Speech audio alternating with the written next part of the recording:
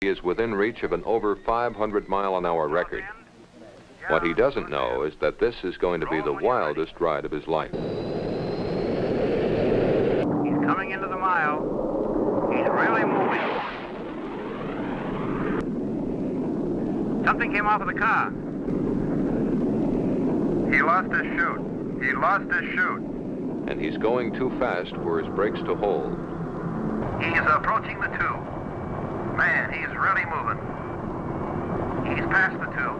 That's the big guys. Any roll the ambulance down here?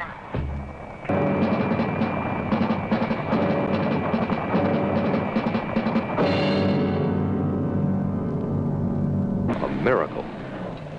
And a historical reunion await the crew. If Petrali missed a time on that, boy, he's out of business. hey, buddy, how you doing?